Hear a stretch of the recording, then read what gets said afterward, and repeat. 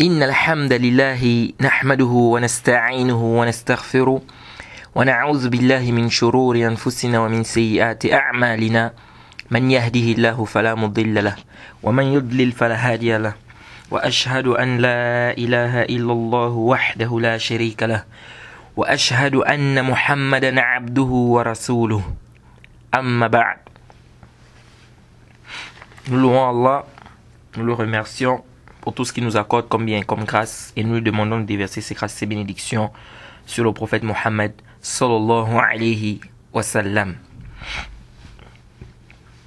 Nous sommes toujours dans le cadre de notre programme qui est Ad-Durar al-Bahiyya fil Masail al-Fiqhiyya de l'imam Mohammed ibn Ali al-Shawkani ta'ala. Alors, nous nous sommes arrêtés sur euh, les, le rattrapage des, des, prières ou le remboursement des, des prières. Et on a expliqué que on rembourse les prières, n'est-ce pas, pour celui qui a une excuse. Il a dormi ou bien oublié, etc. Quant à celui qui fait exprès, c'est-à-dire il n'a aucune excuse, l'heure de la prière passe et il ne prie pas, Ici, là, on dit à celui-là, tu n'as pas de prière à rembourser, il faut faire le tawbah, il faut demander à Allah subhanahu wa ta'ala pardon. Alors, on continue, le cheikh ici dit, rahimahullah, il dit ceci, wal jam'u li'udhrin. Il dit, il est permis de regrouper deux prières, ou bien regrouper deux prières lorsqu'il y a une excuse, c'est quoi? C'est permis. C'est, c'est permis. Et ça, ça fait le rad à ceux-là qui disent que non, il n'est pas permis de regrouper deux prières. Kalam kalam. Vous voyez? Et ils vont t'amener un disent non, il a été rapporté de Omar dans le Musannaf d'Abd Razzaq, hein, qu'il a dit Man jama'a ata baban min min min, min abwab al-kaba'ir. Ils disent quoi? Ils disent que Omar ibn al-Khattab a dit celui qui va regrouper en deux prières, il a quoi? Il a ouvert une porte parmi les, les grands péchés. Hein? Que Omar a dit quoi? Man hein? On dit que Omar a dit celui qui va regrouper deux prières sans excuse, c'est-à-dire, il a ouvert une porte parmi les portes des grands péchés il t'apporte ce hasard. Mais est-ce que ce hasard vient nous montrer qu'il n'est pas permis de faire le jama', il n'est pas permis de regrouper deux prières? Ça ne prouve pas. Au contraire, même ça prouve. C'est-à-dire que le, le même qu'ils apportent là, pour venir interdire aux gens de regrouper entre deux prières, ça, fait, ça leur fait même un rad. Pourquoi? Parce que dedans, ils disent que Omar a dit Celui qui va regrouper en deux prières sans excuse. Donc ça veut dire que s'il a l'excuse, il est permis pour lui de regrouper. Est-ce que vous voyez? Et le hasard là aussi, ça nécessite le, le subut. Est-ce que c'est un hasard qui est authentique ou pas? Ça nécessite un, un bath, une recherche. Alors, mais ce qui est sûr, c'est quoi? C'est qu'il est permis de regrouper entre deux prières. Le prophète l'a fait dans le Sahih al-Bukhari, dans le Sahih Muslim. On va voir, on va parler de ça, Inch'Allah. Que le prophète a regroupé. Hein, le hadith d'Ibn Abbas dans le Sahih Muslim. Il dit Jama'a Nabi sallallahu alayhi wa sallam bayna al-Zuhri wal-Asr wal-Maghrib wal-Isha bi matar que le prophète Mohammed sallallahu alayhi wa a regroupé entre Zuhr et Asr, entre Maghrib et Isha, il n'était pas malade, et pardon, il n'avait pas peur et il n'y avait pas de pluie. Il n'y avait pas de, pluie parce que lorsqu'il y a la pluie, il est permis de regrouper les, les prières, par exemple à la mosquée. Donc ici là, ce qui est sûr et certain, c'est que le prophète a regroupé entre deux prières. Donc il est permis de regrouper deux prières. Alors, on va voir les asbab, c'est-à-dire les causes qui nous amènent à regrouper entre deux prières. Mais ici, il faut retenir déjà un point qui est important. C'est que en ce qui concerne le jama', c'est-à-dire le regroupement des prières, on ne peut regrouper deux prières que Zuhr et Asr, Maghrib et Isha. Je reprends. Zuhr et Asr, Maghrib et Isha. C'est-à-dire, tu ne peux regrouper que Zuhr et Asr, Maghrib et Isha. Tu ne peux pas regrouper, par exemple, Maghrib et Zuhr. Non. Tu ne peux pas regrouper, par exemple, euh, Maghrib et Asr. Non. Tu ne peux pas regrouper, par exemple, Aisha avec, par exemple, Fajr. ou bien Fajr avec Zuhr. Non. On regroupe quoi? Zuhr et Asr, Maghrib et Isha. Et Fajr, on ne regroupe pas ça. On ne regroupe pas Fajr. Alors, le Jama', on a deux types de Jama'. Nous avons ce qu'on appelle le Jama' at-Taqdim et nous avons ce qu'on appelle le Jama' at-Ta'khir. Jama' at-Taqdim, c'est quoi? C'est le fait de prier la prière de Zuhr à son heure. Ensuite, tu ramènes la prière de Asr à l'heure de Zuhr. C'est-à-dire, tu pries d'abord Zuhr, ensuite tu amènes Asr, tu pries ça. On parle de quoi? De Jama' at-Taqdim. Ensuite, nous avons Jama' at-Ta'khir. Jama' at-Ta'khir, c'est le fait de faire quoi? De retarder la prière de Zuhr jusqu'à l'heure de Asr. Tu pries Zuhr, ensuite tu pries Asr. Je reprends. Tu retardes la prière de Zuhr, tu amènes ça à Asr. Tu pries Zuhr, ensuite tu pries quoi? Ensuite tu pries Asr. Donc là, on parle de Jama' at-Ta'khir. Donc on a deux types de Jama'. On a le Jama' at-Taqdim, on a le Jama' at-Ta'khir. C'est-à-dire deux types de regroupements. Tu peux regrouper en faisant, en retardant la première heure ou bien la première prière à la deuxième prière, ou tu peux regrouper en, en anticipant, c'est-à-dire en amenant la dernière prière ou la deuxième prière à la première, prière. Ça, on appelle ça le Jama' taqdim ou ta'khir. Certains savants dit on ne fait pas le Jama' tel que les Hanafiya. Ils ont dit en fait, le Jama' ce n'est pas un Jama' haqiqi. C'est un Jama' qui est souri. Ça veut dire quoi souri? C'est-à-dire en fait on peut croire que c'est un Jama' mais c'est pas un Jama'. Il dit quoi? Il dit lorsque tu regroupes par exemple Zuhr et Asr, qu'est-ce que tu fais? Il dit c'est pas que tu vas prier Zuhr à l'heure de Asr. Non. Il dit pas tu vas retarder la prière de Zuhr. Qu'est-ce que tu vas faire? Tu retardes la prière de Zuhr à sa dernière heure, c'est-à-dire lorsque tu es déjà vers la dernière heure de Zuhr. Tu pries ça. Tu, donc tu pries Zuhr. De telle sorte que quand tu vas terminer Zuhr, on est rentré dans la l'heure de Asr. Ensuite tu pries Asr. Donc il dit en réalité c'est pas un jama'. C'est-à-dire c'est un jama' souri, c'est-à-dire en apparence on peut voir que c'est un jama', en vérité c'est pas un, un jama'. Pourquoi? Il dit parce que tu as prié Zuhr à son heure et Asr à son heure. Mais sauf que tu as retardé la prière de Zuhr vers la dernière heure. Donc il dit en vérité c'est pas un jama'. Je sais pas si vous saisissez. L'imam Abu Hanifa il dit quoi? Il dit tu retardes la prière de Zuhr jusqu'à vers la dernière heure, tu pries ça de telle sorte que quand tu vas terminer la prière de Zuhr, la prière de Asr est déjà rentrée. Et là, tu pries, tu pries Asr. Donc, celui qui te voit prier peut penser que tu as fait un jama', tu as regroupé deux prières. Mais en réalité, tu n'as pas regroupé parce que tu as prié chaque prière à son, à son heure. Parce que le regroupement, c'est ça. C'est des prier deux prières dans l'une des heures des deux prières. En fait, c'est ça le jama'. Quand on dit regrouper deux prières, c'est ça en fait. C'est de prier deux prières dans l'une des heures des deux prières. Ça veut dire que soit tu pries la prière de Asr, la prière de Zuhr avec Zuhr, ou soit tu pries Zuhr, la prière de Asr avec Asr. C'est ce qu'on appelle le jama'. Mais l'imam Abu Hanifa dit non. Il dit c'est pas, en réalité, quand on nous dit que le prophète a fait le jama', ce n'est pas ça le sens. C'est-à-dire le sens, c'est pas qu'il a pris la prière de Asr et l'a mené ça à ou bien la prière de Zuhr et l'a mené ça à Asr. Non. Il dit le sens, c'est qu'il a retardé la prière de Zuhr jusqu'à vers la fin. Il a prié Zuhr, de telle sorte que quand il a terminé la prière de Zuhr, l'heure de Asr était déjà rentrée et ensuite il a enchaîné Asr. Donc celui qui voit en apparence peut penser que c'est un jama' alors qu'en réalité c'est pas un, un jama'. C'est-à-dire c'est pas un regroupement. Est-ce que ça c'est sahih? Et il s'appuie sur un dalil. Une version qui vient dans le Nasa'i où on nous dit que le prophète Mohammed a fait le jama' de Zuhr et Asr, Maghrib et Isha et il a été dit là-bas à la fin du hadith que il a retardé Akhara Zuhr فصلى الظهر ثم صلى العصر وقدم comment on appelle العصر وصلى الظهر c'est-à-dire que ici dans le hadith ils disent il a retardé la prière de Zuhr et il a prié quoi Et il a prié Zuhr il a prié Asr vous voyez? Et il a fait le ta'khir aussi vous voyez? Donc il a retardé Zuhr jusqu'à la fin de l'heure comme on a expliqué et puis il a prié Zuhr il a prié il a prié Asr mais ça, ce n'est pas. Ça, c'est ce qu'on appelle c'est un hydroge. C'est un hydroge dans, dans le hadith. Le hydroge, en fait, c'est une intercalation dans le hadith. Ça veut dire quoi une intercalation dans le hadith?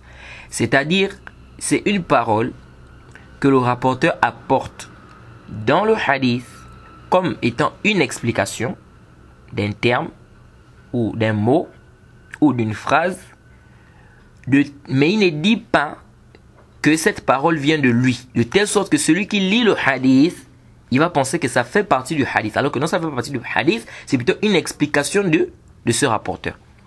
C'est parce que vous avez compris. Donc ici là, hein, ici là, je crois qu'on a déjà parlé de ça, du hydroj, du mudaraj. Je rapporte par exemple un hadith, un exemple. Je dis par exemple, euh, ou bien je vais prendre l'exemple qui est venu net dans la sunna. Abu Huraira par exemple, il dit, le prophète Mohammed, sallallahu alayhi wa sallam par exemple, c'est un exemple, hein, Il dit dans un hadith authentique Ajran. Il dit Wallazi nafsi biyadih لولا الجهاد في سبيل الله والحج وبر أمي لأحببت أن أموت وأنا مملوك Abu Huraira a dit dans ce hadith Suivez-moi attentivement parce que c'est un exemple qui va beaucoup vous aider. Il dit, le prophète a dit, le serviteur a deux récompenses, c'est-à-dire l'esclave en fait. Il a deux récompenses. Il dit, par celui qui détient mon âme dans sa main, si ce n'était pas le djihad dans le chantier d'Allah, le hajj et la bienfaisance envers ma mère, j'allais souhaiter mourir en étant un esclave. Suivez-moi attentivement ici. Ce hadith, il est authentique jusqu'à là où le prophète a dit le serviteur ou bien l'esclave a deux récompenses. Jusque-là, c'est authentique. Jusque-là, c'est, c'est authentique. Maintenant, la partie qui dit par celui qui détient mon âme dans sa main. Si c'était pas le djihad là, ou bien le hajj, ou bien la bienfaisance envers ma mère, j'allais souhaiter de mourir esclave. Cette partie-là, c'est un mudraj. C'est un idraj, c'est-à-dire c'est une intercalation comme on a dit dans le hadith.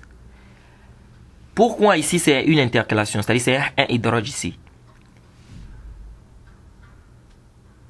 Ici là, quand tu lis le hadith, tu as l'impression que c'est le prophète qui a dit toute cette parole-là. Mais alors qu'en réalité, c'est pas le prophète. La partie qui dit par celui qui détient mon âme dans sa main, si c'était pas le, djihad, ou bien le hajj, ou bien la bienfaisance envers ma mère, j'allais souhaiter de mourir esclave. Cette partie-là, c'est pas la parole du prophète, mais c'est la parole de qui? D'Abu Huraira. Mais c'est rentré dans le hadith, de telle sorte que celui qui lit, il pense que tout ça, c'est la parole du prophète. En réalité, c'est pas là. C'est pas la parole du prophète. Vous voyez? Ça, c'est important pour, pour nous de comprendre. Et c'est pourquoi vous allez trouver même dans d'autres hadiths je vais expliquer tout à l'heure comment on fait pour détecter que ça c'est un hydrogène ou pas. Maintenant, je vais vous donner un autre exemple. C'est venu par exemple dans le Sahih que Abu a dit Asbirul wudu. Que le prophète a dit quoi? Asbirul wudu wa waylun lil a'qab minan nar. Asbirul wudu wa waylun lil a'qab minan nar. Que Abu a dit Faites les ablutions à la perfection et malheur au talon de l'enfer. C'est-à-dire, hein, les gens qui font les ablutions, qui ne font pas bien les ablutions, ils laissent hein, un endroit où l'on n'a pas touché. Le prophète a dit malheur au talon de l'enfer. Dans ce hadith, on pense que tout ça c'est la parole du prophète. Alors qu'en réalité, non. La parole du prophète, c'est la parole qui dit dans le hadith. Ça, c'est la parole du prophète. Malheur au, au talon de l'enfer. Malheur au talon de l'enfer. Mais le début du hadith qui dit faites vos ablutions de, manière parfaite, ou bien à la perfection, cette partie-là, c'est un mudraj, c'est un idraj. C'est-à-dire, c'est la parole d'Abu Huraira. Ce n'est pas quoi? Ce n'est pas la parole du prophète Muhammad sallallahu alayhi wa. Alors, ça, on appelle ça l'intercalation, le hadith. Donc, c'est-à-dire, le, le, rapporteur explique quelque chose, un mot, un bayan, un hukm, mais il fait rentrer ça dans le hadith de telle sorte qu'on a l'impression que ça fait partie du hadith. Maintenant, comment on peut détecter que ça c'est un mudraj ou ça c'est pas un mudraj Il y a plusieurs manières de détecter. Parmi les manières de détecter, je vais prendre la première façon parce que c'est la façon la plus facile. Par exemple, ici, dans le hadith d'Abu que je viens de vous citer, on dit qu'Abu a dit faites les ablutions de manière parfaite ou à la perfection. On trouve que ce même hadith est cité par Abu dans une autre chaîne de transmission, ou peut-être dans la même chaîne de transmission, mais rapporté par un autre rapporteur, où Abu a dit Faites vos ablutions à la perfection. Il dit car j'ai entendu le prophète Mohammed Qasim, qui est le prophète Mohammed il dit j'ai entendu le prophète Mohammed dire malheur au talent de l'enfer. Est-ce que vous suivez? C'est-à-dire dans une autre version, on voit qu'Abu a dit faites vos ablutions à la perfection. Car j'ai entendu le prophète Mohammed dire. Donc on comprend que la partie de l'autre hadith qui est venu mélanger en disant faites vos ablutions dans la perfection, malheur au talent de l'enfer, on comprend que cette première partie-là, c'est la parole d'Abu ce c'est pas la parole du prophète. Pourquoi? Parce que c'est venu dans une autre version, n'est-ce pas, où Abu a clairement dit que le prophète a dit cela. Donc, il a mis la partie que le prophète a eu à dire. Donc l'autre partie, on comprend que c'est pas le prophète Mohammed sallallahu qui a eu à, dire, à dire cela. Donc ici, là, ça c'est parmi les méthodes pour, pour découvrir quoi, ce qu'on appelle le, le c'est-à-dire l'intercalation dans le, dans le hadith. Et ici, et ici pour trouver ça, il faut on fait ce qu'on appelle le jama' turuq. C'est-à-dire il faut qu'on regroupe tous les hadiths qui sont venus sur la question. On essaie de fouiller ça à partir de là qu'on va détecter que ça c'est un mudraj, oui ou non. Là c'est première. Deuxièmement aussi, il y a une autre manière c'est que la parole qui est citée dans le hadith, si on applique ça au prophète, c'est-à-dire que c'est quand même impossible. C'est-à-dire que c'est impossible que le prophète puisse dire cette chose-là. On a un hadith, il y a un hydroge à l'intérieur, une intercalation à l'intérieur, mais cette intercalation-là, on pense que quoi? Que si on dit, ou bien si on attribue cette intercalation-là, ou bien si on attribue cette parole au prophète, on verra que ça va totalement en quoi? En contradiction avec les paroles du prophète, ou bien ça va totalement en contradiction avec la révélation, ou bien le fait que le prophète Mohammed est un, est un prophète. Je vais revenir pour vous faire comprendre cet exemple, ce que je suis en train de dire là. Je reviens sur l'exemple que je vous ai cité euh, précédemment, c'est-à-dire le premier exemple. Lorsque je vous ai dit que le prophète a dit que le serviteur ou bien l'esclave a deux récompenses. La partie qui dit, par celui qui détient mon âme dans sa main, on a dit que c'est c'est un un idraj. Ce n'est pas, la parole, du prophète. Comment on a détecté ça? Suivez attentivement. Comment on a, pu, on a fait pour détecter ça ici? Que ça, c'est pas la parole du prophète. C'est parce que dans le hadith, il dit si c'était pas le djihad fils et la bienfaisance envers ma mère, j'allais souhaiter d'être, de mourir quoi Esclave. La bienfaisance envers ma mère. Le prophète ne peut pas dire que si c'était pas la bienfaisance envers ma mère, étant donné que sa mère est déjà est morte. La mère du prophète est morte, il était encore petit. Donc le prophète ne peut pas dire si c'était pas la bienfaisance envers ma mère. La bienfaisance envers sa mère, comme alors que sa mère ne vit pas, elle est morte? Oui. Donc on comprend aisément que ça, c'est pas la parole du, du prophète, c'est plutôt la parole de qui? D'Abu Huraira. Ça, c'est un. Et puis deux, comment le prophète va dire J'allais souhaiter de, mourir esclave? C'est-à-dire esclave d'un autre, d'un autre être humain. Oui. Comme le prophète va dire ça, sachez très bien que le prophète Mohammed, c'est un prophète, n'est-ce pas Et il est la meilleure des, créatures. Bref, à la hal, Ici, là, on détecte ça déjà, déjà par cette parole. On voit déjà qu'ici, Aboura, est plutôt la parole ici qu'Aboura nous fait comprendre, ou la parole qu'il dit ici, où il dit, euh, euh, euh, si c'était pas la, bienfaisance envers ma mère, j'allais souhaiter de mourir esclave, on comprend aisément que ça ne peut pas être la parole du prophète Mohammed sallallahu alayhi wa sallam. Pourquoi? Parce que la mort du prophète, la mère, la maman du prophète est morte de depuis. Donc on comprend que cette parole-là n'est qu'un idraj ou un mudraj. Vous voyez? Et ça, c'est important pour nous de comprendre. Donc ça, c'est un peu... Il y a beaucoup de techniques de détecter, ou bien comment on peut détecter que ça c'est un mudraj ou pas. Donc ça, c'est, on apprend aussi dans le Ibn al-Hadith, et Al-Khatib al-Baghdadi, il a écrit un bon livre sur ça, sur les hadiths, les idraj et tout. Celui qui veut bien euh, connaître les hadiths, ou bien le, le, dans le hadith, il peut repartir dans ce livre-là, que Al-Khatib al-Baghdadi, il a écrit sur le mudraj.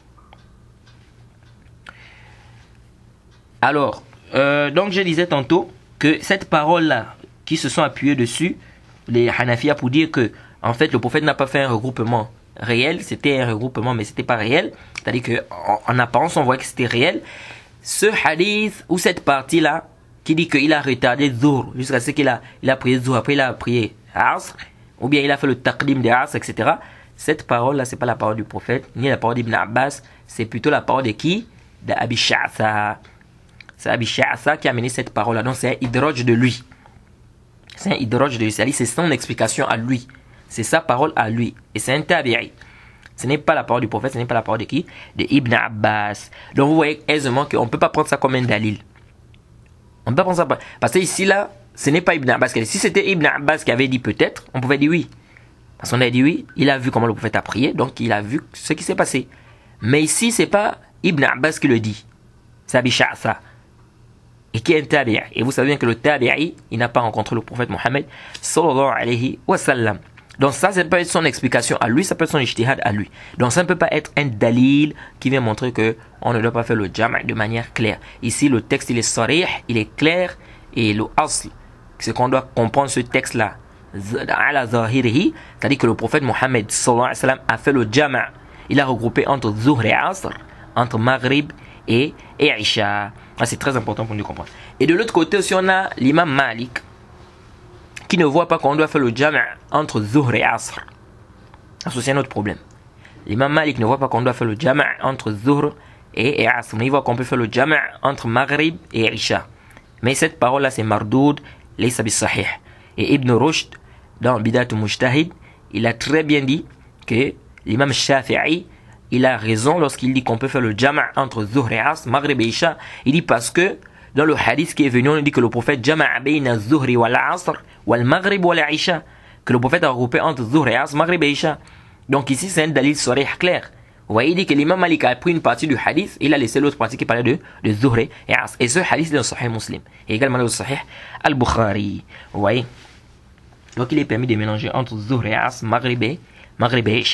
Et c'est là où on comprend bien que on ne doit pas suivre euh, les savants parce que il y a seulement un khilaf. Parce qu'il y a des gens comme ça. Comme il y a un chacun prend ce qu'il veut. Ici, là, il n'y a pas de chacun prend ce qu'il veut. Ici, le dalil est clair. Lorsque tu as un dalil qui vient déjà clair sur la question et authentique en plus, ici, tu n'as plus besoin encore de dire que non, tel cheikh a dit ou bien l'imam Malik a dit. L'imam Malik a dit oui, c'est un savant. Il a fait son ijtihad.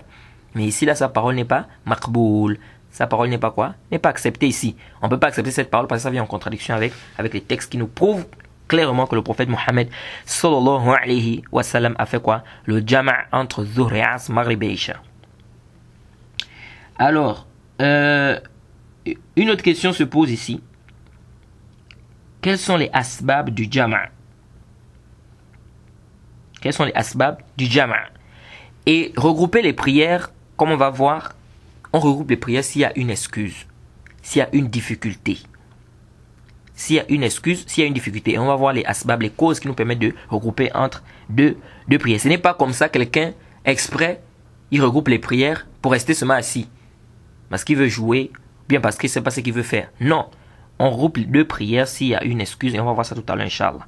Mais déjà, je vais vous donner deux exemples.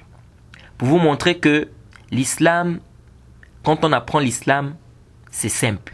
Mais lorsqu'on n'a pas appris l'islam, c'est compliqué. Lorsqu'on n'a pas appris l'islam, c'est compliqué. L'islam est très simple, les frères. Il ne faut pas mener les gens dans des difficultés que l'islam a facilité. Regardez le cas des étudiants. Il y a des étudiants qui posent cette question toujours. Ils disent, bon, moi, je suis au lycée. Je vais au lycée, Parfois, j'ai devoir. J'ai devoir à partir de 14 heures. Et le devoir termine peut-être à 17 heures. Peut-être un devoir de 4 heures de temps, peut-être. Une dissertation ou de 2 heures. Le devoir commence à 14 heures. Ça termine peut-être à 16h30 ou 16h45 ou 17h pile. Il dit bon, quand je sors de là, la prière des Asr est déjà passée. Je fais comment? Je fais comment? Ou bien je rentre, peut-être les cours du soir, je rentre à 18h. Je fais peut-être des cours du soir. Je rentre en salle à 18h peut-être 45. Ou bien 18h50. Et je ressors de là-bas, par exemple, à 21h ou 22h je fais comment? Alors, ça, c'est des points qui sont importants. Parce que les gens se posent cette question et beaucoup des étudiants demandent ça, qu'est-ce qu'ils font? Mon frère, l'islam est plus que simple et plus que clair. Quelqu'un qui a un devoir, par exemple, il sait qu'il va faire le devoir. À, il rentre par exemple en classe à 13h30 ou bien 14h pile. Et il va ressortir là, la prière sera déjà terminée. L'heure de sera déjà sortie. On dit à celui-là, avant d'entrer en classe, fais la prière de Zuhr et la prière de Asr. Avant d'entrer en classe, fais quoi? Fais la prière de Zuhr et la prière de, de Asr. C'est-à-dire, tu pries d'abord Zuhr, ensuite tu pries quoi? Tu pries Asr. Donc, si tu as par exemple, tu rentres par exemple au cours à 13h45, tu peux faire la prière de Zuhr et la prière de Asr peut-être à 13h15, ou bien à 13h20, ou bien à 13h25, ou bien à 13h30, ça dépend. Hein, du mouvement du soleil, etc. Donc, si tu es dans ce cas-là, voilà ce qu'il faut à appliquer. Un autre cas, un docteur. Il doit rentrer en salle d'opération. C'est un musulman. Il rentre en salle d'opération. Mais il va rentrer en salle d'opération peut-être à 13h40 ou 13h45. Mais il va ressortir de là-bas qu'à 18h. Il va ressortir de là-bas qu'à 18h. Donc ça veut dire que la prière de Asr, il ne pourra pas la faire à son heure. Et vous savez que si quelqu'un est en salle d'opération, hein, tu as déjà ouvert peut-être le ventre de quelqu'un, ou bien la tête de quelqu'un, tu vas opérer peut-être le cerveau, ou bien le cœur, ou bien la, etc. Le médecin, c'est lui le médecin, il ne peut pas laisser la personne comme ça et partir, aller faire la prière et revenir. Peut-être la personne peut mourir. Alors on dit à ce docteur-là que quand la prière de Zuhr arrive, il prie la prière de Zuhr, ensuite il prie la prière de Asr, ensuite il rentre en salle d'opération. L'islam est très très simple. On n'a pas besoin d'amener des gens des takaloufats devenir compliqués quand l'islam a fait quoi? Quand l'islam a, a facilité. Ça c'est très important pour nous de, de comprendre cela. C'est pourquoi les savants disent, toutefois qu'il y a une difficulté de faire la prière à son heure, une difficulté qui est valide, qui est juste, difficulté juste, qui t'empêche de faire la prière à son heure, ici qu'il est permis pour toi de regrouper les, les deux prières, mais à condition, comme on a dit, que ça soit dans l'une des heures de l'une des deux prières. Ça veut dire que si tu veux regrouper Zuhr et As, tu vas pas prier la prière de Zuhr à 10 heures ou bien à 9 heures. Tu non, je prie et Asr, tu mélanges Zuhr avec Asr à 10h ou bien à 9h. Non, parce que tu n'es même pas encore entré dans la prière de l'une des, des deux prières. Donc il faut que ça soit dans l'une des heures des deux prières que tu veux regrouper, soit à l'heure de Zuhr, soit à l'heure de, de Asr. Et c'est venu le dalil de ça, c'est quoi C'est que le prophète Mohammed, comme dit Ibn Abbas dans le Sahih Muslim, Jama'a Rasulullah sallallahu alayhi wa sallam bayna zuhri wal asr wal maghrib wal isha min ghayri khawfin min ghayri khawfin wala matar فقيل لابن عباس لماذا فعل رسول الله صلى الله عليه وسلم ذلك لماذا فعل رسول الله صلى الله عليه وسلم ذلك فقال أراد أن لا يحرج أمته arada an la yuhrija ummatahu. Ici, Ibn Abbas, on lui a posé la question. Il a dit le prophète a regroupé en Zoréas, Maghreb et Isha. Il, avait, il n'avait pas peur, il n'y avait pas de pluie. Donc, c'était pas, il n'y avait pas de peur, il n'y avait pas la pluie, mais le prophète a regroupé. Déjà, ce Dalil montre quoi? Que le prophète regroupait lorsqu'il y avait la pluie. Et on peut regrouper s'il y a une peur.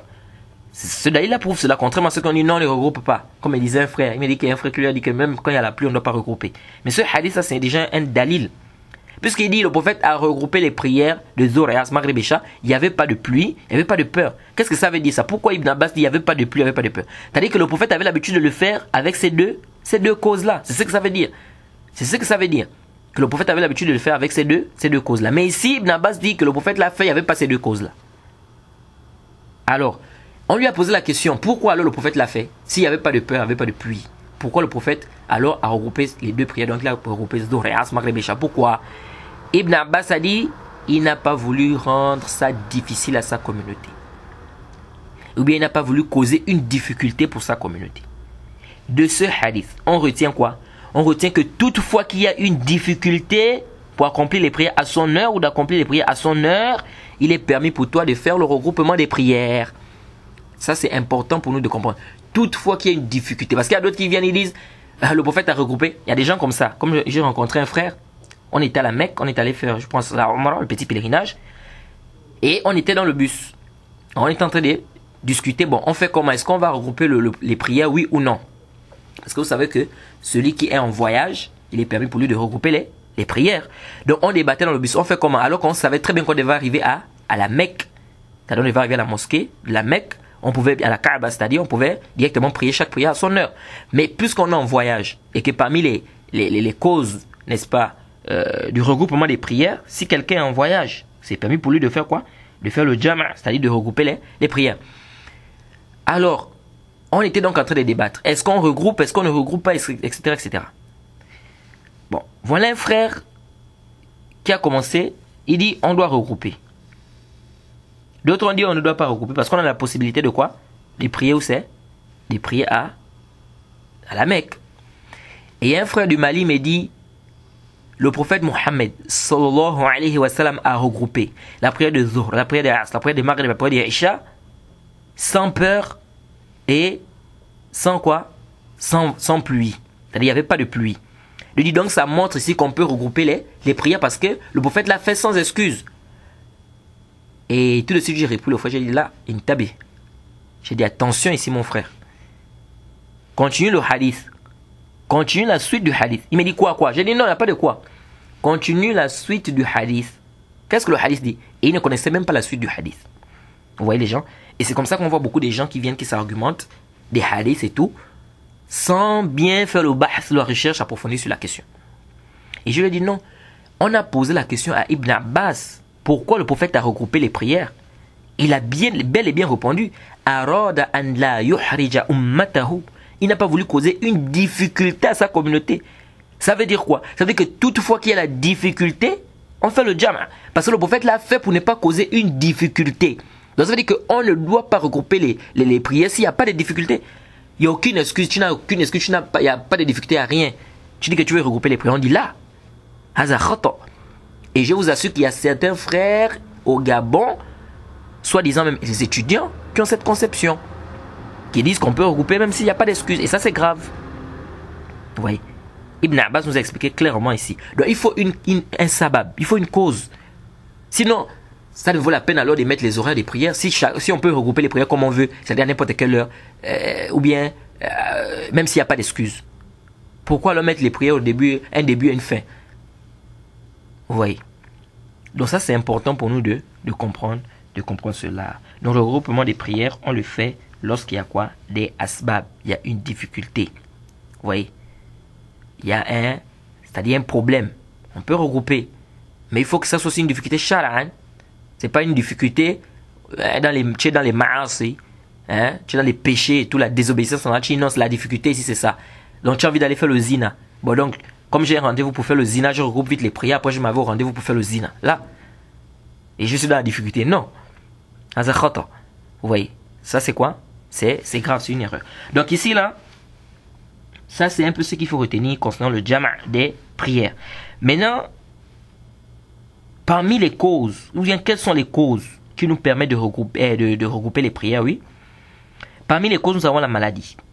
Si quelqu'un est, malade, quelqu'un est malade, il a, du pal, il a le palu, bien il a des maux de tête, ou bien la maladie, ou bien je ne sais pas quoi, quelle maladie, il est permis pour lui, s'il voit qu'il y a une difficulté, il regroupe la prière de Zohar la prière de Asr, ou bien la prière de Maghrib et la prière.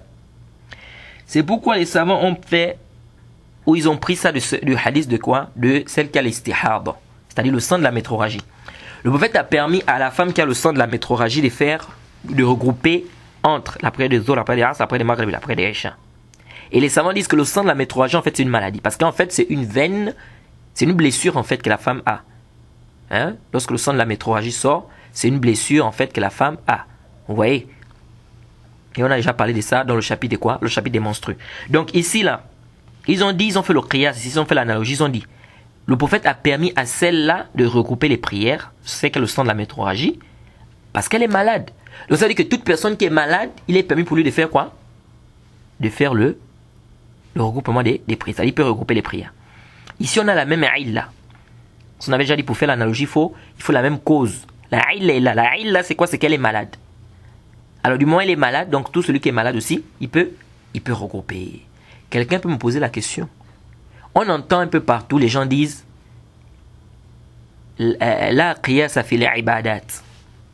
La qiyasa fil ibadat. Ils disent quoi? Qu'il n'y a pas d'analogie à faire dans les adorations. On ne doit pas faire l'analogie dans les adorations. Vous allez entendre ça. Beaucoup de gens disent ça. Qu'on ne fait pas l'analogie quand il s'agit des adorations. Est-ce que vous suivez هذا صحيح ولا ولكن ليس على إطلاقه هذا صحيح لكن ليس على إطلاقه إيش هذا Ça, c'est-à-dire cette règle-là, elle est juste. Mais ce n'est pas de manière absolue. Ce n'est pas de manière absolue. Et là encore, beaucoup de gens s'embrouillent. Et moi-même, j'en faisais partie. Parce qu'on nous dit, on ne doit pas faire l'analogie dans les adorations. Mais on se rend compte que dans certaines massa'il, on voit des savants qui font l'analogie. Et pourtant, c'est l'adoration ici. On ne comprend plus rien. On dit, mais attends. On nous dit qu'il y a une règle, on ne doit pas faire l'analogie dans les adorations. Après, pourquoi on ne doit pas faire l'analogie dans les adorations? Vous allez comprendre pourquoi les savants ont amené cette règle-là. Mais ici, Arju Antantabihu. Je demande ton attention ici. Je demande votre attention ici parce que ce que je vais dire là, ça va beaucoup vous aider. Comme on a toujours dit, quelqu'un qui a bien compris ses usul, quand on parle des usul fiqh, les fondements de la jurisprudence islamique, si tu as bien compris les fondements de la jurisprudence islamique, c'est-à-dire qu'Allah va beaucoup te faciliter. Dans beaucoup de masaïs, tu vas comprendre beaucoup de choses. Alors ici, intabi, il n'y a pas d'analogie. Je dis bien, attention à ce que je vais dire tout à l'heure. Il n'y a pas d'analogie dans les adorations. Ne fais pas l'analogie dans les adorations. Mais quand les savants disent, ou lorsque les savants disent qu'il n'y a pas d'analogie dans les adorations, ce sont les adorations qui sont ce sont les adorations qui sont quoi? Mais les adorations qui sont il est permis de faire l'analogie dans ces adorations là les adorations qui sont quoi? Ma'qul ma'na si une adoration est ma'qul ma'na il est permis de faire quoi? L'analogie mais qu'est-ce que ça veut dire ma'qul ma'na wa ghayru ma'qul ma'na quand on te dit ma'qul ma'na ça veut dire quoi? C'est-à-dire une adoration dont on connaît la cause. Pourquoi Allah subhanahu wa ta'ala a légiféré cette adoration? Parce que les adorations sont divisées en deux catégories. Nous avons les adorations qui sont ma'kulul ma'na et les adorations qui sont rir ma'kulul ma'na. Quand on te dit ma'kulul ma'na, c'est-à-dire qu'on connaît pourquoi il y a eu cette, légifération-là. Ma'kulul ma'na, on ne connaît pas pourquoi Allah a à légiférer cela. Comme par exemple, le prophète a dit quoi? On fait le jahr. Lorsqu'on récite, lorsqu'on prie dans, les prières, la prière de Maghrib, la prière de Isha, les deux premiers rakats, on lit ça à haute voix. Les deux derniers, ou bien la prière de, de Maghrib, le dernier rakan, on lit ça à voix basse. Les deux derniers de Isha, on lit ça à voix basse. La prière de Zuhr, la prière de Asr, on lit tout ça à, voix basse. Pourquoi on lit la prière de Maghrib, les deux premiers rakats à haute voix, et le dernier rakat à voix basse? Pourquoi la prière de Aïcha, les deux premiers rakats à voix haute et les deux derniers rakas à voix basse? Pourquoi la prière de Zuhr, la prière de Asr, on lit ça à voix basse? Pourquoi? Personne ne peut nous donner là la réponse. On ne connaît pas. On le fait par adoration. Personne ne peut nous dire pourquoi. C'est comme quand on parle du tawaf. Le tawaf. Pourquoi on fait sept tours? Pourquoi on fait 7 tours lorsqu'on fait le, le Personne ne peut nous dire. Pourquoi c'est 7 tours? Pourquoi pas 8 tours? C'est-à-dire quand on fait la circumambulation autour de la Kaaba, pourquoi c'est pas 8 tours? Pourquoi c'est 7 Personne ne peut, ne peut nous dire. Pourquoi la prière de Zuhr c'est 4 rakas? La prière de c'est 4 rakas La prière de Maghrib c'est 3. Fajr, 2 rakas. Al-Aisha, 4 rakas. Pourquoi? Personne ne peut nous dire pourquoi. Donc ça, on appelle ça des adorations qui sont Rérul Ma'qul Ma'na. C'est-à-dire que le ma'na ici n'est pas connu. Le ma'na, c'est-à-dire qu'on ne sait pas pourquoi. L'image, l'éche, pourquoi on a légiféré ça? Pourquoi on fasse, pourquoi on fait trois, pourquoi on fait deux? Ici, on n'a pas, on ne sait pas. Alors, ces adorations-là, dont on ne sait pas la cause, suivez attentivement. Ces adorations dont on ne connaît pas la cause, il n'y a pas d'analogie à faire ici. Je répète, il n'y a pas d'analogie à faire ici. On ne peut pas faire l'analogie ici. Pourquoi on ne peut pas faire l'analogie ici? C'est maintenant là vous allez comprendre. Si vous vous rappelez bien dans nos cours, on a dit que parmi les conditions de l'analogie, il faut quoi? Il faut la illa. Il faut qu'il y ait la même illa. Il faut qu'on ait la même cause. Parce que s'il y a la même cause, ça prend la même sentence. A la même cause, on a pris déjà des exemples. Le vin est interdit parce que ça saoule. Donc tout ce qui saoule rentre dans l'interdiction. Alors, ces adorations-là, où on connaît la cause, ce sont ces adorations dont on peut faire la l'analogie. Et c'est bien, c'est raisonnable. Pourquoi? Parce qu'on ne peut pas faire l'analogie dans les adorations dont on ne connaît pas la cause. Pourquoi? Parce qu'on a dit parmi les conditions de l'analogie, il faut quoi? Il faut qu'il y ait la même cause. Mais comment ils vont avoir la même cause du moment où on ne sait pas, on ignore la cause? Sais pas si vous savez. C'est-à-dire que on ne connaît pas c'est quoi la cause. Donc on ne peut pas faire l'analogie. Puisque parmi les conditions de l'analogie, il faut qu'il y ait la même cause pour que ça prenne la même sentence. Mais on ne connaît pas la cause, Aslan. Comment, comment on peut faire l'analogie ici? Ça ne peut pas marcher. C'est pourquoi on avait mis l'exemple. La fois passée, lorsqu'on avait dit, on avait parlé des bêtes qui sont impures. On avait dit que parmi les savants qui ont dit euh, tout ce qu'on ne mange pas, leurs crottins sont impurs. On a dit quoi? Ils ont dit quoi? Ils ont dit tout ce qu'on ne mange pas, toute bête qu'on ne mange pas, leurs crottins sont impurs. Et ils ont fait l'analogie avec quoi? Avec le himar. Ils ont fait l'analogie du, du himar, c'est-à-dire que l'âne. Ils ont dit, le moment où le prophète a dit que le crottin de l'âne, hein, c'est najis, c'est impur. Donc, on sait que l'âne domestique, il est haram, il est interdit. Donc, tous les crottins des animaux qui sont interdits, c'est, c'est haram. Et on avait fait le rad, on avait dit d'abord la version qui dit himar, c'est une version daif, qui a des problèmes, une version faible. Hein, et puis deux, le hadith reste à dire seulement le, le, le. Donc, il nous restait maintenant à savoir, le crottin veut dire quoi? Et on avait expliqué que le crottin ici, c'était le crottin de quoi? De trois, de trois bêtes. Le cheval, le mulet et quoi? Et l'âne domestique. On avait dit qu'en dehors de ces trois animaux, tout le reste des animaux, leur crottin, c'est, pur. Donc, on avait fait le rad parce qu'on avait dit, même si on accepte que cette version du himar est authentique, est-ce que le prophète a dit que le crottin du himar, de l'âne domestique, c'est impur? Parce que c'est interdit à manger sais pas si vous comprenez. Le prophète a, a dit que le crottin de l'âne, c'est impur. Est-ce que c'est parce qu'il est interdit ou c'est pour une autre raison? On avait dit que c'est rien ne nous prouve que c'est parce que c'est interdit. Pourquoi? Parce qu'on est dans les impuretés, on ne connaît pas la cause. Dans les impuretés, on ne connaît pas la cause. On ne connaît pas pourquoi, pourquoi les excréments de l'être humain c'est impur. Pourquoi les urines de l'être humain c'est impur? Et pourquoi l'urine du chameau c'est pur? Pourquoi? L'être humain ses urines sont impures, le chameau ses urines sont pures. Pourquoi? Les caca de la poule c'est pur. Pourquoi? Les excréments de l'être humain c'est impur. Pourquoi? On ne connaît pas la cause. Du moment où on ne connaît pas la cause, on ne peut pas faire l'analogie ici. C'est pourquoi on avait que le, le bab des najasat, on ne peut pas faire la cause parce qu'on ne connaît, euh, l'analogie parce qu'on ne connaît pas la, la cause. Donc pour pouvoir faire l'analogie, il faut connaître la, cause. Si on connaît la cause, il n'y a pas de problème. Mais si on ne connaît pas la cause, fihi. Là, on ne peut pas faire quoi? L'analogie. Alors donc je reviens ici pour dire ceci, que quelqu'un pouvait se poser la question et demander pourquoi on a fait l'analogie de la femme qui est en état de métroragie avec celui qui est malade, tout simplement parce que l'état de métroragie c'est une maladie. Et comme c'est une maladie, le prophète a permis à cette femme, puisque c'est à cause de ça que le prophète lui a permis de regrouper. Donc ça veut dire quoi? Que comme c'est une maladie et que le prophète lui a permis de regrouper, hein, à cause de cette métroragie-là, qui est une maladie, donc le prophète lui a permis de regrouper les prières pour ça, donc tout celui qui est malade également, il est permis pour lui de regrouper les, les prières. Ça, c'est ce qu'il faut retenir ici concernant le, le. Et même sans ça, on a dit s'il ne faut pas qu'il y ait une difficulté. Quelqu'un qui est déjà malade, il a une difficulté. Il a une difficulté ici à faire les prières à son heure.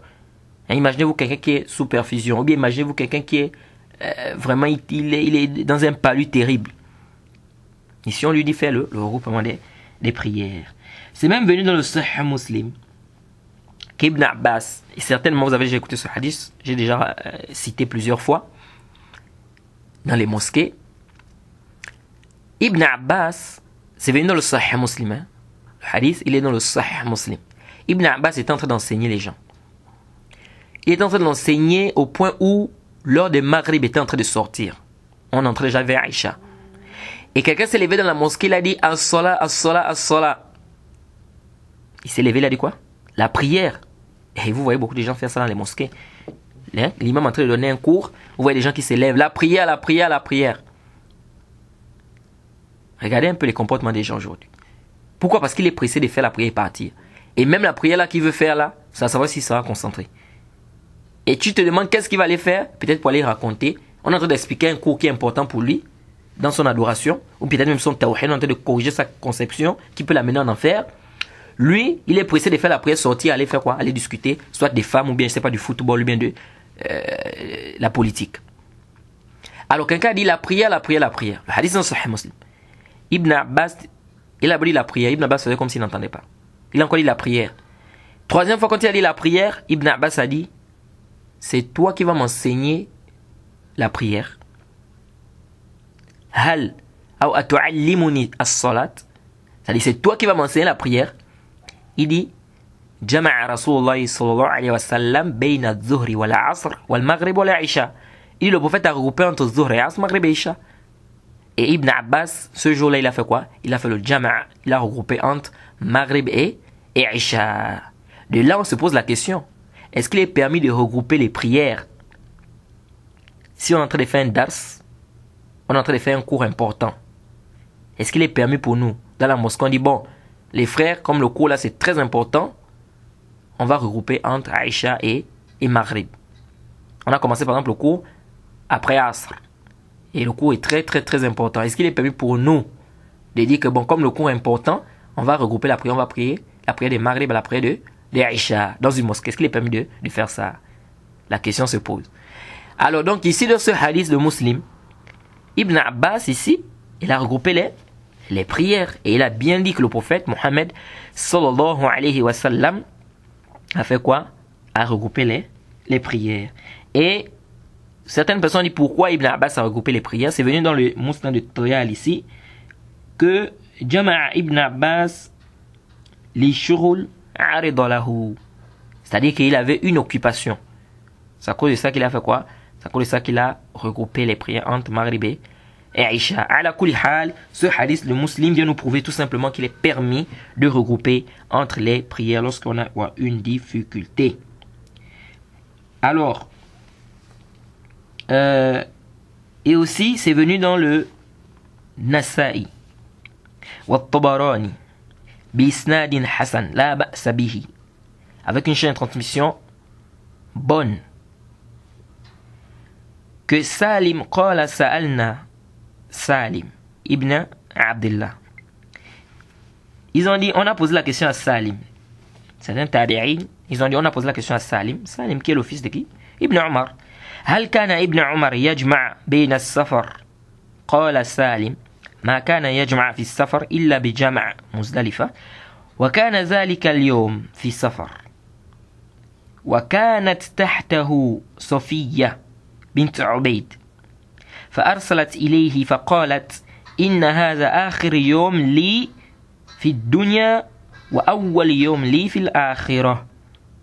فعجل ابن عمر وجمع بين الظهر والعصر وجمع بين المغرب والعشاء ثم سلم تلق تسليمة واحدة تلق وجهه. ثم قال يسمى حديث ابن عب... ابن عمر؟ حديث السنن النسائي الحديث التنصيف الشيخ الألباني رحمه الله. Que Ibn, euh, comment il s'appelle? Ibn Omar a regroupé entre Zohr et As. On a posé la question à Salim. Est-ce qu'Ibn Omar a regroupé les prières? Il dit ne regroupait pas, il regroupait les prières, sauf que c'était à, à Muzdalifa. C'est-à-dire quand on fait le pèlerinage. Et il a dit, et un jour, par contre, un jour, euh, sa femme, n'est-ce pas? Elle, elle lui a envoyé un message. Hein? Que je pense qu'aujourd'hui, c'est mon dernier jour dans le bas monde et mon premier jour dans l'au-delà. C'est-à-dire, elle voulait faire comprendre à Ibn Omar en fait que elle sentait qu'elle devait mourir. Et qu'est-ce qu'Ibn Omar a fait? Il dit Ibn Omar s'est précipité. Il a prié, il a fait le regroupement de la prière de Zuhr et la prière de Asr. Après, il a fait le regroupement de la prière de Maghrib la prière de Isha. Il dit Donc, il a fait le regroupement des deux prières là. Il a fait le salam, un salam. Puis, il a dit ceci. Dans ce d'ailleurs, on retient aussi qu'il est permis de faire un salam dans la prière. Parce que les savants divergent. Est-ce que c'est deux salams qu'on doit nécessairement faire ou bien on peut faire un seul salam, ça suffit.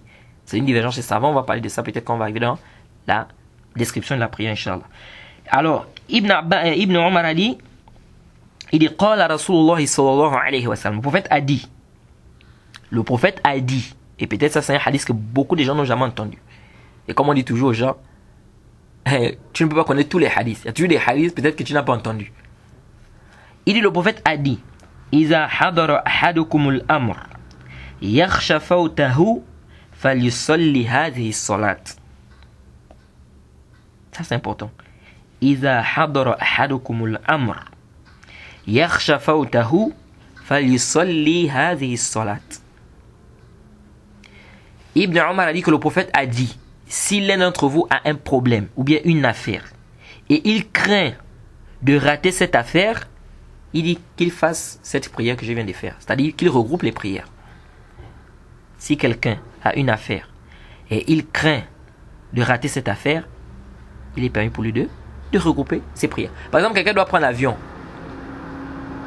Il doit faire quoi? Il doit prendre l'avion. Et il sait très bien qu'en prenant la... S'il prie maintenant la, prière de Zohr, et il attend de prier la prière des Asr, il va rater l'avion. Qu'est-ce qu'il fait? Lorsqu'il va prier Zohr, il mélange directement Asr. Ensuite, il prend, il prend son, son avion. Ça, c'est important de comprendre ça. Hein. C'est pas comme voulait nous faire faire un frère une fois. On était à l'aéroport et un étudiant, il est en couleur de charia. Il voulait nous faire faire le qasr. On est à l'aéroport de, de, de, de, Léomba.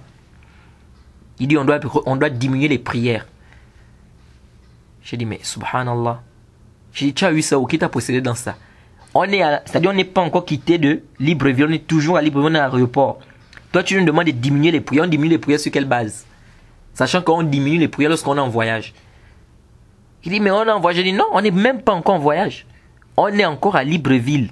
On n'a même pas encore commencé à voyager. Qui t'a possédé dans ça? Vous voyez? Et heureusement, parce qu'il avait ce frère-là a failli nous faire faire. Parce que je voyais déjà des étudiants qui étaient là, oui, oui, on va faire. Non, on fait quoi? Et vous voyez l'importance d'apprendre le din. Parce que si on n'apprend pas le din correctement, on va être, c'est-à-dire on va te, te, balader là. On t'amène là-bas, tu passes, mais oui, c'est comme ça. On dit non, oui, non, c'est comme ça. Bon, ici c'est interdit, oui, c'est interdit. Oh, non, c'est permis, permis. Parce que tu n'as pas de base, tu ne comprends rien, tu ne connais rien. Et ça, c'est dangereux. Et de l'autre côté aussi, celui qui va se lancer dans des fatawa, dans des, c'est-à-dire des sentences, sans d'abord faire le bas, sans d'abord faire des recherches approfondies, le plus souvent, il va mêler les gens en erreur. Il va induire les gens en, en erreur. Et ça, c'est dangereux. Donc, on doit faire les efforts, les frères, d'apprendre, d'apprendre quoi? Notre dîne. Et de savoir ce qui est bien pour nous, ce qui n'est pas, ce qui n'est pas bien pour, pour nous. Donc, on doit vraiment apprendre notre religion. Alors, je disais donc que les asbab du jama', c'est-à-dire les causes qui nous permettent de faire quoi? Le regroupement des, des prières. Nous avons la maladie. Hein, les savants mettent, ils disent quoi? La maladie. Deuxièmement, nous avons la peur. Si quelqu'un a une grande peur. Nous avons la pluie. Et on rappelle aussi que ce n'est pas une condition qui, que ce soit une grande pluie. Parce qu'il y a des gens pour regrouper les prières dans les mosquées, ils pensent qu'il faut d'abord qu'il y ait pardon, une grande pluie. Non. Donc même s'il y a une rosée, même le temps déjà, dès que le temps, voit que le temps est très mauvais, ça nous montre déjà qu'il risque d'avoir une pluie, il est permis pour nous de regrouper il est permis pour nous de, de, de regrouper. Parce que ici, le but, c'est quoi De ne pas causer une difficulté aux gens. Imaginez-vous, les gens vont quitter des choses pour venir prier encore la riches. Ils vont passer où il y a la boue, bien il y aura la pluie, etc. D'autres n'auront pas peut-être des parapluies, c'est compliqué. Donc on fait ce qu'on appelle le, le jama. Donc même s'il n'y a pas la pluie, le simple fait qu'il y ait seulement, euh, c'est-à-dire le temps est déjà mauvais et qu'on a le pressentiment qu'il y aura une pluie, il est permis de quoi? De regrouper. Euh, et aussi parmi la sunna aussi, ça c'est une sunna qui est délaissée. Ça vraiment je ne sais pas, j'ai pas encore entendu ça dans une mosquée. Peut-être, mais moi j'ai pas encore entendu. Hasba par rapport à ce que je sais, au Gabon je n'ai pas encore entendu ça. C'est que c'est vu de la sunna du prophète Mohammed que pendant les moments de pluie, lorsqu'on prie, lorsque le muazzin fait la zan, il est légiféré au muazzin de dire aux gens Sallu et ça, c'est une sunna, je dis bien, qui est délaissée. C'est pas si euh, on entend ça dans les mosquées, mais moi, j'ai jamais entendu. C'est le mot azin doit dire aux gens, priez chez vous. Dans la zane. Il doit dire quoi? Dans la zane, priez chez vous. Ça, c'est important. Maintenant, les savants divergent. Il doit dire ça à quel moment? Est-ce que c'est au moment où il va dire Hayya ala salah, Hayya al falah Ou bien il dit ça à la fin Ou bien où? Peut-être on va parler de ça, Inch'Allah, dans le chapitre de la quand on va y arriver. Mais ici, il faut rappeler que c'est une sunna. C'est une sunna du prophète Mohammed sallallahu alayhi wa de dire aux gens de prier chez eux lorsqu'il y a la pluie. Donc le muazzin crie quand il fait la zan, après il dit Sallu fi rihalikum. Sallu fi rihalikum. Ça c'est une sunna qui est délaissée.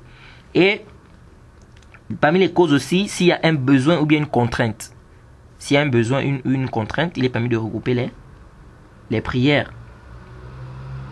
Et aussi parmi les bid'ah, je profite à rappeler, parmi les bid'ah que les gens font quand on regroupe les prières dans les mosquées, et ça, surtout dans les petites mosquées, surtout la mosquée, il y a des mosquées, moi-même j'assiste, où on fait ça, ça c'est une bid'ah. C'est quoi? C'est qu'on fait la zan, on fait la zan pour les deux prières. En d'autres termes, si on veut regrouper entre Maghrib et Isha, parce que c'est ça le plus souvent, j'ai pas encore vu une mosquée qui regroupe entre Zuhr et Asr, Peut-être il y en a, mais je n'ai pas encore rencontré.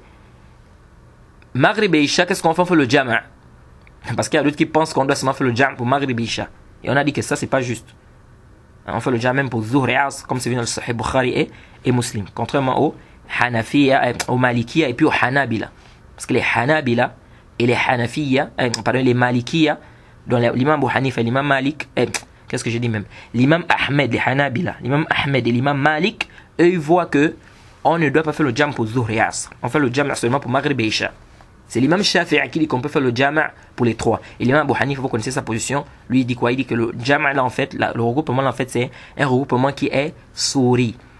C'est-à-dire que en apparence, c'est apparent, mais en réalité c'est pas un, regroupement. Bref, ici là, les bid'ah qui font c'est quoi? Ils font la zan pour l'après de Maghrib. Après ils s'élèvent, le muezzin s'élève encore. L'imam dit au muezzin que lève-toi, parce qu'ils sont en train de faire le jama ici. Ils ont pris la prière de Maghrib.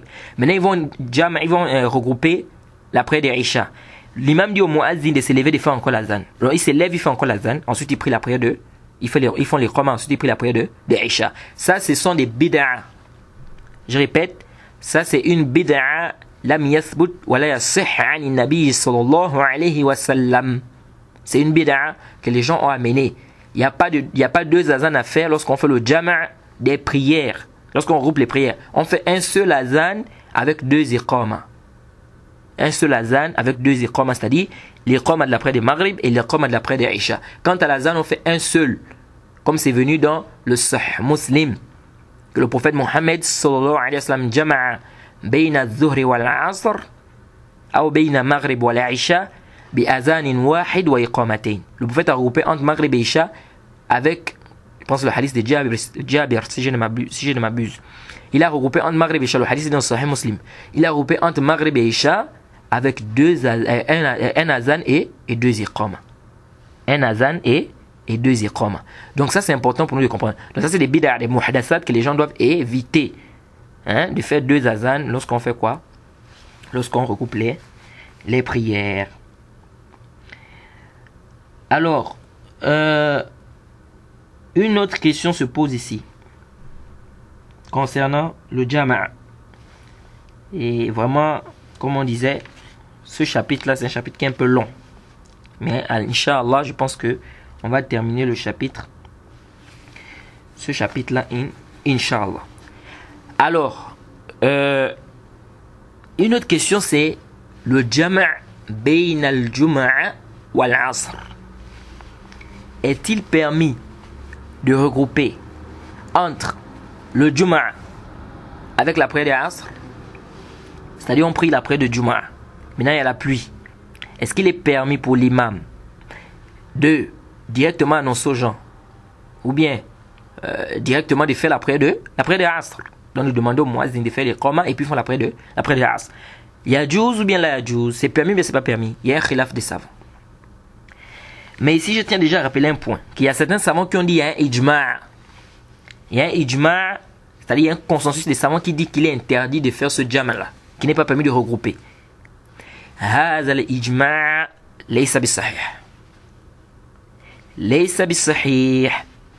ce ijma' là, qu'on dit qu'il y a un ijma', il y a un consensus qui dit qu'on ne doit pas regrouper entre, euh, euh, euh, entre le Juma' avec la prière de Asr, ce n'est pas sahih, ce n'est pas un ijma'.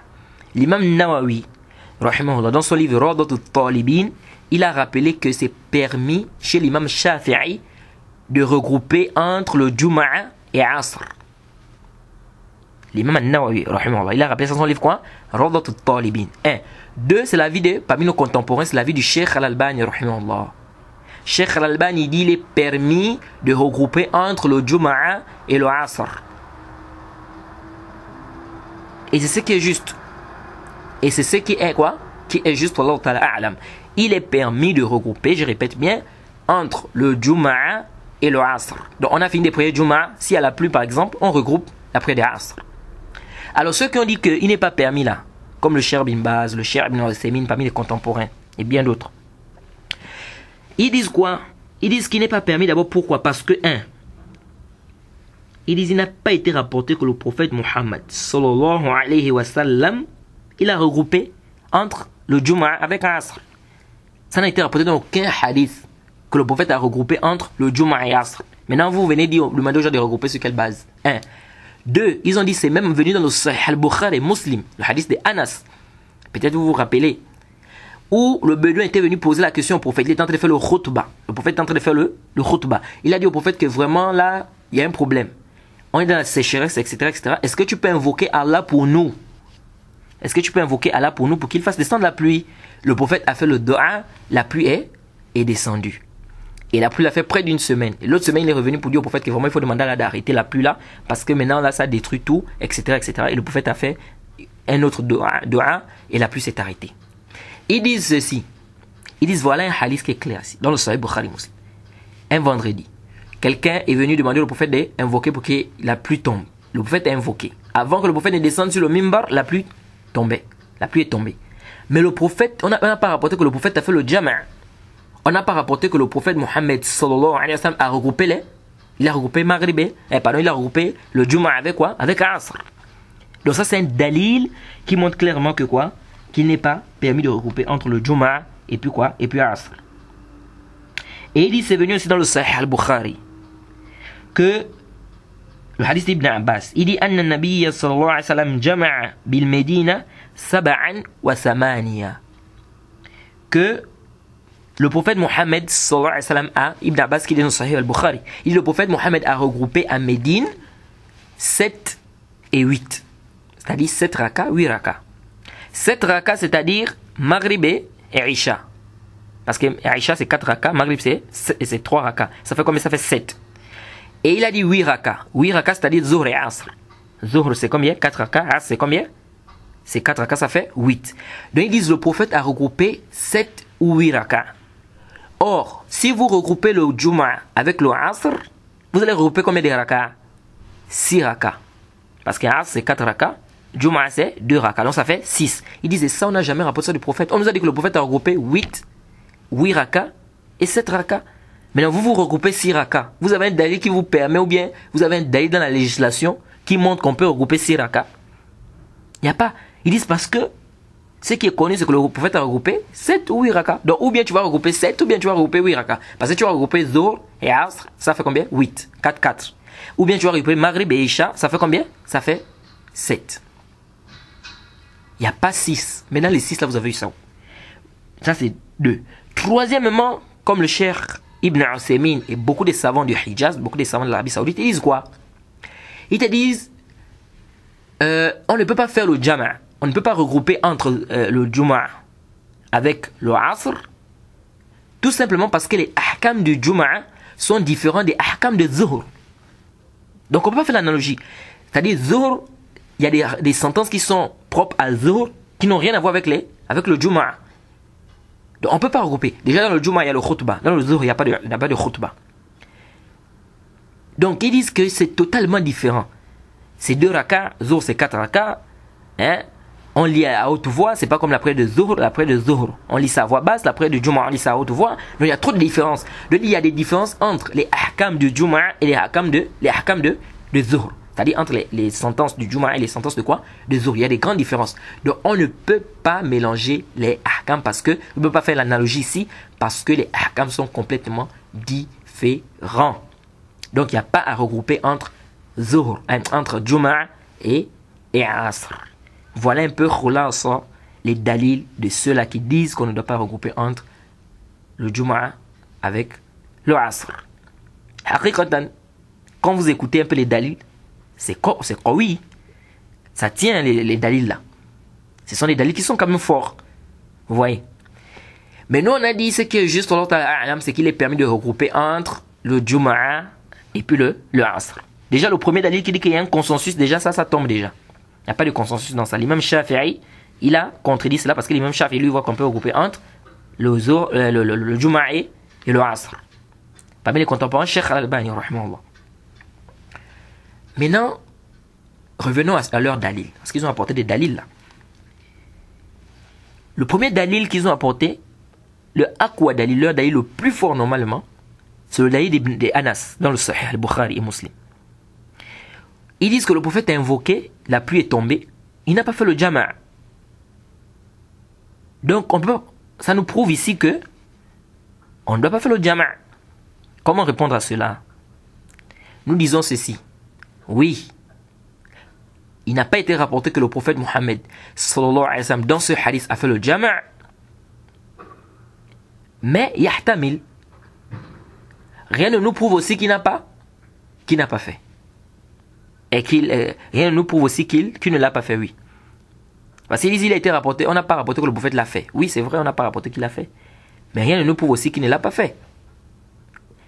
Deuxièmement et c'est ce qui est plus croyant nous disons ceci que la prière de Juma'a ou l'heure du Juma'a la rajih, ce qui est juste, c'est que l'heure du Juma'a, on peut faire ça avant, avant l'heure de Zuhr.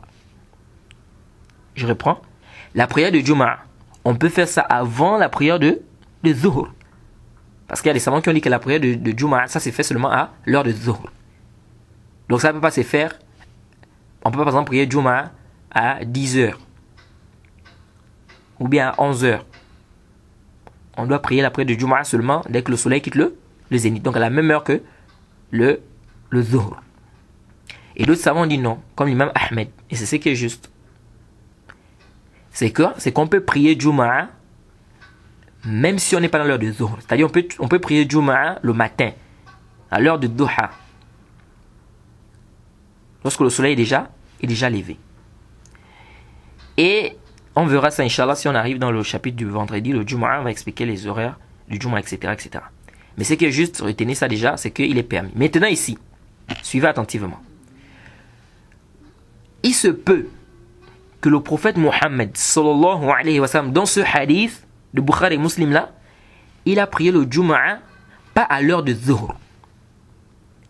Il se peut qu'il, que le prophète Mohammed ici a prié Jumu'ah, c'était pas à l'heure de Zuhr. Yahtamil c'est une hypothèse. Alors nous disons ceci. Si on prie le Jumu'ah pas à l'heure de Zohr, il n'est pas permis pour nous de faire le Jama' entre, euh, entre Jumu'ah et quoi? Et Asr. Il n'est pas permis pour nous de regrouper entre le Jumu'ah et Asr. Ça veut dire quoi? Ça veut dire que si on prie par exemple le Jumu'ah à 10h45 ou bien 50, ou bien 10h, c'est pas 40, le matin par exemple. Et ça, je sais que beaucoup de gens sont Peut-être la première fois qu'ils entendent ça, donc il est permis de faire le Jumu'ah même le matin. Mais on va en discuter, Inch'Allah, si on arrive dans le chapitre de la prière du, du Jumu'ah. Inch'Allah. Alors, ici, là, si on prie le Jumu'ah à cette heure-là, donc le matin, il n'est pas permis pour nous de faire le Jama' entre quoi? Entre Jumu'ah et quoi? Et Asr. C'est-à-dire, on ne peut pas regrouper entre le Asr et le Jumu'ah. Pourquoi? Parce qu'on a dit, parmi les conditions du Jama' du regroupement, il faut que ça soit dans l'une des heures de l'un des deux. C'est-à-dire qu'on ne peut pas regrouper une prière du matin avec la prière de, l'astre. Si on prie euh, Juma à l'heure de Zohr, ah, là il est permis pour nous de regrouper entre le Juma et, et Asr. Je sais pas si vous comprenez. si on prie le Juma à l'heure de Zohr et qu'il y a la pluie par exemple, on peut regrouper avec, avec Asr. Mais si on prie le Juma le matin, par exemple vers les 9h ou 10h, il n'est pas permis pour nous de regrouper avec quoi? Avec le Asr. Parce qu'on a dit que le, le, Jam c'est fait quoi? Zuhr, Asr, Maghrib et Aisha. Donc il se peut que le prophète n'a pas fait le Jam ici, tout simplement parce qu'il a fait la prière de Jum'a le matin. C'est une hypothèse. Yahtamil. Et puis deuxièmement, qui a d'abord dit que le Jam c'est obligatoire? Qui a dit que regrouper les prières c'est obligatoire? C'est pas obligatoire. Ce n'est pas obligatoire. Ça veut dire que je peux prier à la mosquée, si je suis imam par exemple, il y a la pluie, et je ne regroupe pas les prières. Est-ce que parce que je n'ai pas regroupé la prière lorsqu'il y avait la pluie, ça veut dire que c'est interdit de regrouper la prière parce qu'il y avait la pluie? Et lorsqu'il y a la pluie? Non. Donc le jama' c'est une rukhsa, c'est-à-dire c'est une dérogation. Donc ce n'est pas une obligation, c'est une rukhsa, c'est-à-dire c'est une dérogation, c'est pas obligé. Donc le prophète peut ne pas faire le jama'. Il n'y a pas de problème. Il n'y a pas de problème. Donc personne n'a dit que le jama' regrouper deux prières c'est obligatoire. Donc si le prophète n'a pas regroupé ce vendredi avec le asr, ça ne veut pas dire que c'est pas permis, non. Puisque c'est pas obligé de regrouper. Mais nous avons des textes généraux qui nous montrent qu'il est permis de regrouper. Le prophète a dit. Et le prophète l'a regroupé Zuhr et Asmar et Ibn Abbas a dit Arada an la ummatahu. C'est ça la partie.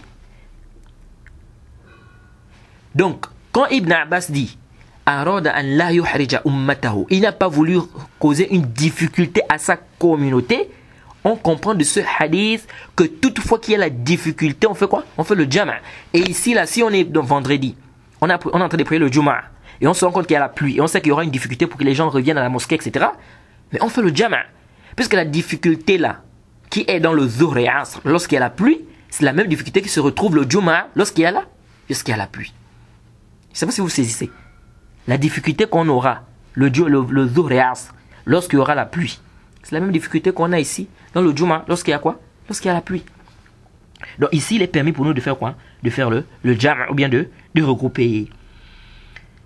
Maintenant, on vient maintenant à l'istidlal de ceux qui ont dit que le prophète Mohammed sallallahu alayhi wa sallam, il a fait le jama' de il a regroupé 7 et 8 et 8 c'est-à-dire il a regroupé 7 raka et 8 8 raka comment comprendre cela?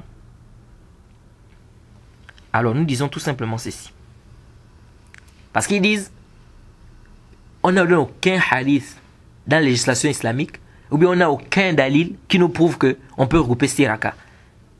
C'est venu 4, euh, que c'est venu 7 ou, ou 8. Donc 8, c'est-à-dire Zour 4, 4. Et 7, Maghrib et Isha. Donc 4 plus 3, ça fait 7.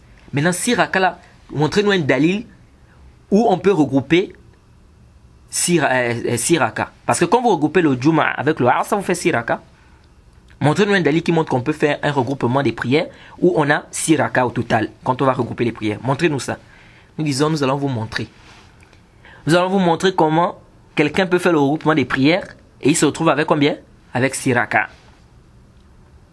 Suivez-moi attentivement. Quelqu'un est voyageur. Quelqu'un il est? Il est voyageur. Quelqu'un, suivez-moi bien il est voyageur. Il arrive, il trouve l'imam en train de prier. L'imam n'est pas un voyageur, il est résident. L'imam n'est pas un voyageur, il est, il est résident. Il prie avec l'imam. L'imam est en train de prier après de, de Zohar. Il prie avec l'imam. Il va prier comme des rakas avec l'imam? Vous savez que le voyageur, est permis pour lui de prier deux rakas. C'est même obligatoire. Peut-être on va aussi parler de ça quand on va, arriver dans la prière du voyageur. Pour ceux qui ne savent pas, ce qui est juste que c'est obligatoire. Bref. Il prie derrière l'imam. Quand il prie derrière l'imam, là, il prie combien de rakats? Lui, il est voyageur, l'autre là-bas, il est résident. Il prie combien? Il prie pas deux rakats, il prie quatre. Comme c'est bien dans le Sahih Muslim. On a posé la question à Ibn, Ibn Mas'ud ou bien Ibn Abbas, si je ne m'abuse. On lui a demandé que, mais si je suis derrière un imam qui est muqim et tout et tout, je fais comment? Je suis voyageur. Ibn Abbas a dit, tu pries le nombre de prières, le nombre de rakats qu'il va prier. Il a dit Tilka sunnatu Abil Qasim. Abil Qasim. Tilka sunnatu Abil Qasim. Il a dit c'est la sunna du prophète Mohammed sallallahu alayhi wa. Donc de là on comprend que si quelqu'un est voyageur et qu'il prie derrière quelqu'un qui est résident, il prie combien de rakats? Il prie 4 rakats. Mais même s'il est venu là trouver l'imam au troisième ou bien au dernier rakats, tant que l'imam est un résident, il fait combien? Il complète, il prie combien? 4 4 rakats. Suivez-moi bien. Quelqu'un arrive, il trouve l'imam en train de diriger la prière de Zohar. Il rentre, il prie avec lui. Il prie combien de rakas Il prie 4 rakas, même si c'est un voyageur. Il prie 4 rakas parce que l'imam prie 4 rakas. L'imam était fait pour être suivi et Ibn Abbas a dit que c'est la sunna du prophète. Donc tu pries 4. Salam alaikum wa rahmatullahi. L'imam dit Assalamu alaikum wa rahmatullahi. Assalamu alaikum wa rahmatullahi. Et ça aussi c'est important. Parce qu'il y a une erreur là que beaucoup de gens font dans la prière. Et ça on entend ça beaucoup, même certains C'est-à-dire, moi-même, j'ai déjà écouté ça, même certains savants, ils tombent dans cette erreur-là. Vous allez voir des, gens, quand ils font le salam, qu'est-ce qu'ils font? Il dit Salam alaikum wa rahmatullahi, salam alaikum wa rahmatullahi. Là, ça c'est pas juste. Tu ne dis pas salam alaikum wa rahmatullahi, salam. Là, tu as, enlevé le alif wa lam. C'est venu dans la sunna que le prophète disait quoi? Assalamu alaikum wa rahmatullahi, assalamu alaikum wa rahmatullahi. C'est-à-dire, on doit entendre le A là, le assalamu alaikum, on doit entendre ça. Ce n'est pas assalamu alaikum wa rahmatullahi, assalamu alaikum wa rahmatullahi. On entend beaucoup de gens faire ça. Non, ce n'est pas ça. Il avale le alif wa lam. Non.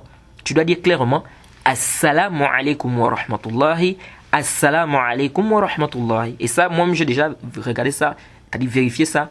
Beaucoup de mosquées, beaucoup de gens, vous allez voir, ils font ça. Hein? Au lieu de dire Assalamu alaikum wa rahmatullah, il dit quoi? Il dit Assalamu alaikum wa rahmatullah, Assalamu alaikum. Non, tu dois dire Assalamu alaikum wa rahmatullahi, Assalamu alaikum wa rahmatullah. Bref, dès que l'imam finit de dire Assalamu alaikum wa rahmatullah, Assalamu alaikum wa rahmatullah, il est ici derrière l'imam. Il fait quoi? Il fait le salam. Quand il fait le salam, il est permis pour lui de faire son jama'. Il est permis pour lui de prier la prière de Asr, puisqu'il est voyageur. Il est quoi? Il est voyageur, il est en train de voyager par exemple. Alors il s'est arrêté pour faire la prière. Il a trouvé l'imam qui faisait, qui a pris la prière de Zou, il a fait 4 rakas. Il est voyageur, qu'est-ce qu'il va faire après? Il prie sa prière de Asr. Quand il va prier sa prière de Asr, là, il prie combien? 4 ou bien 2 rakas Il prie 2 rakas. Il ne prie pas 4 rakas, parce qu'il est en voyage ici. Et il n'est pas derrière un imam.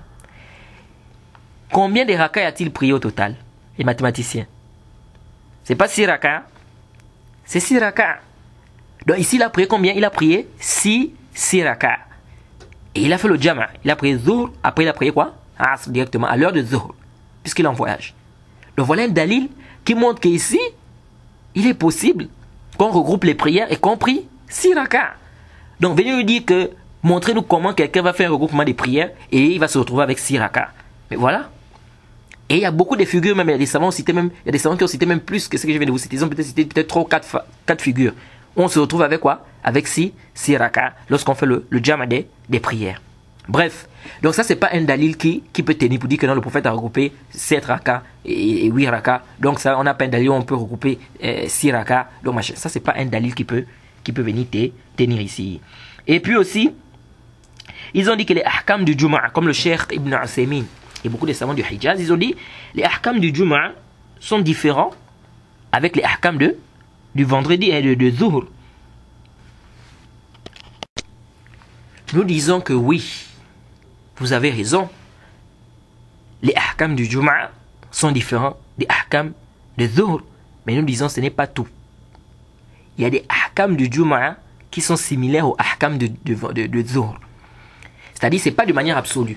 Nous sommes d'accord que les, les, sentences du Juma sont différentes des sentences du, de Zuhr. Mais ce n'est pas de manière absolue il y a des sentences du Jumu'ah qui sont valides, qui sont similaires aux sentences du, vendredi. C'est-à-dire de, de, Zuhur qui sont semblables aux, sentences du, du, vendredi. Un exemple. C'est venu dans le Sahih al-Bukhari, le hadith de Anas. Il a dit quoi? Il a dit que le prophète Mohammed sallallahu alayhi wa a permis de retarder le Jumu'ah, suivez-moi attentivement, lorsqu'il y a trop de chaleur vous savez que il est permis, lorsqu'il fait très chaud, comme c'est venu dans le Sahih Bukhari Muslim, le prophète a permis de retarder un peu la prière lorsqu'il fait très chaud. On n'a pas dit de faire le jama, non, mais de retarder un peu, d'essayer de, voir un peu que la chaleur, d'essayer de, d'attendre un peu que la chaleur un peu diminue. Même s'il y a certains savants qui disent aujourd'hui on ne peut plus faire ça parce qu'on a les mokeif, c'est-à-dire on a les, les clims aujourd'hui et tout, donc on n'a plus besoin de repérer. Bref, ce n'est pas ça le débat. Ce que je veux faire comprendre, c'est que Anas ici nous fait comprendre que le prophète a permis de retarder le Jumu'ah aussi lorsqu'il fait très chaud. Nous disons ceci. Le Jumu'ah, il est permis de retarder la prière de Zour lorsqu'il fait, lorsqu'il fait chaud. C'est une sentence. Il est également permis de retarder un peu le Jumu'ah lorsqu'il fait, lorsqu'il fait très chaud. Est-ce que les ahkam de Zour là, il est permis de retarder Zour lorsqu'il fait très chaud? Et le prophète aussi permis de retarder le Jumu'ah lorsqu'il fait très chaud est-ce que les ahkam du zuhr là, avec les ahkam du juma ne sont pas les mêmes dans ce sens-là? C'est la même sentence. C'est-à-dire de la même manière qu'il est permis de retarder zuhr lorsqu'il fait chaud, il est également permis de retarder juma lorsqu'il fait, fait chaud. Donc ici c'est pareil. Donc on ne doit pas venir dire aux gens que les ahkam du juma sont différents avec les ahkam de, de, de, de Asr, et pardon, de Zuhr, donc on ne peut pas faire le jam'. Non, c'est vrai, il y a des ahkam qui sont différents, bien la majorité des ahkam sont différents. Mais ça ne veut pas dire que c'est différent partout, non. Il y a des ahkam qui peuvent être similaires. Donc ça n'empêche pas le fait que on peut regrouper Zuhr et Asr. Le fait qu'on peut regrouper Zuhr et Asr, ça n'empêche pas également de regrouper euh, le Jum'a avec quoi? Avec Asr. Du fait qu'il y a la même, la même cause ici qui est quoi? Qui est la difficulté, qui est la pluie, etc. Vous voyez Donc c'est pour dire que les ahkam du Jum'a, c'est vrai, dans, en sa grande majorité, c'est différent des ahkam du Zuhr, mais ça ne veut pas dire que c'est de manière absolue. Il y a des sentences du Jum'a qui sont similaires aux sentences du vendredi, comme ce que je viens de vous, de vous expliquer ici, le fait de retarder quoi? La, la prière lorsqu'il fait très, très chaud. La même manière qu'on on pouvait dire aussi non, pour Zuhr, on ne doit pas retarder. Oui, mais le hadith est venu prouver qu'on peut aussi retarder à cause de quoi? La chaleur. Et, et cela aussi est valable pour la prière de Zuhr. Il permet de retarder Zuhr lorsqu'elle a. Donc ici, nous avons deux sentences ici qui sont si similaires. Donc ça, n'empêche pas ici aussi que le Jumu'ah, on puisse regrouper avec quoi? Avec le Asr, comme on peut regrouper le Zuhr avec le, le Asr. Et puis, on a le texte général. Le texte général est clair. Ibn Abbas a dit Il n'a pas voulu causer une difficulté à sa communauté, les frères. Le jama, on fait le jama pourquoi? On a dit lorsqu'il y a une difficulté. Mais ici, là, s'il y a une difficulté ce vendredi-là, comme la pluie, il y a une difficulté là. On fait comment? On fait le jama. Le dalil, on a le même dalil d'Ibn Abbas. Le même dalil de, de Ibn Abbas, il a dit Donc voilà un peu ce qu'il faut retenir sur, sur ce point-là. Hein, je sais que beaucoup de gens ne sont pas de cet avis. Je sais que beaucoup de gens, peut-être c'est la première fois qu'ils écoutent ça, mais ce sont des sujets qu'on doit parler. Et ce que j'ai dit là, c'est pas moi, je n'ai pas inventé ça de ma propre tête. Il y a des savants qui l'ont dit, parmi lesquels l'imam Shafi'i, comme l'a rappelé l'imam Nawawi dans son livre Rodat talibin et également c'est l'avis du Cheikh Al-Albani, notre Cheikh Al-Albani, parmi les, les contemporains.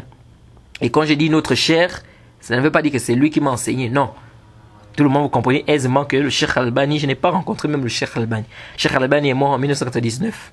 Moi, je me suis islamisé en 2000, combien? 7. Donc vous voyez déjà que combien d'années d'écart. Donc je n'ai pas rencontré le Cheikh Albani. Mais quand j'ai dit notre Cheikh, il faut comprendre par là, c'est-à-dire parce qu'on profite du Cheikh Albani. À travers ses livres, etc., ses cassettes, etc. Vous et le Cheikh Al-Islam il a dit dans le Majmu' Fatawa, au tome 11, si je ne m'abuse, il dit que toute personne qui te fait profiter dans ton din, c'est ton cher dans ça ton cher dans ça. Oui. Donc ça, c'est important pour nous de comprendre. Donc ici, ce que je suis alam, c'est qu'il est permis de regrouper entre le Juma'a et puis le, le Asr. Il est permis de regrouper entre le Juma'a et puis le, le Asr. Bien évidemment, c'est des sujets qui nécessitent encore un peu plus de tafsir. Hein. Parce que comme je l'ai dit, ici, si on rentre trop en profondeur dans les il là, on rentre trop dans les détails, vraiment, on ne finira. Je pense que le livre, on va finir ça, euh, je ne sais pas, pas combien d'années. Voyons qu'ici, c'est le mieux, le mieux pour nous, c'est de faire quoi? L'irtisar, c'est-à-dire de faire un peu des résumés. Alors donc on va s'arrêter par ici pour ce cours. Je pensais qu'on allait terminer, n'est-ce pas, ce chapitre-là aujourd'hui, mais malheureusement, vous avez vu tout le temps, euh, c'est-à-dire la masse à la de le Juma et puis le Zohr, et le Juma et puis le As nous a pris beaucoup de temps. Vous voyez, près de 1 heure, 1 heure 23 et quelques. Alors donc, Inch'Allah, le cours prochain, Inch'Allah, j'espère qu'on va terminer le chapitre. On va parler des heures qui sont où il est déconseillé de faire les prières, etc. etc. On s'arrête par là, on demande qu'Allah nous facilite, qu'Allah nous pardonne. Wa subhanaka Allahumma bihamdik, wa shalom la ilaha illa anta. Assalamu alaikum wa rahmatullahi wa barakatuh.